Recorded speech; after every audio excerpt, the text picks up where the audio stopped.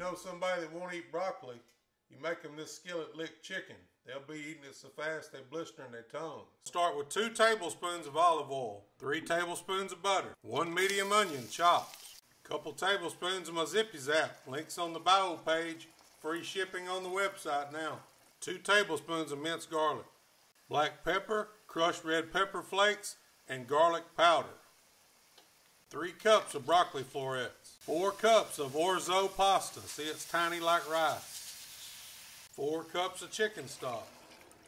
Four cups of fully cooked chicken. This is a whole deboned chicken. Eight ounces of American cheese. Bring this to a simmer on a low heat. Let it cook for about 20 minutes. Now we're going to add in a half a cup of heavy cream.